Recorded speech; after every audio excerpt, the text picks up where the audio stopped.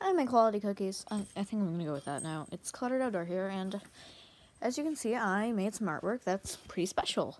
So this I only used with one marker, so yeah. And this, I tried a different medium than what I usually do with alcohol-based markers, and I used Posca pens, but yeah, that's basically all. Bye!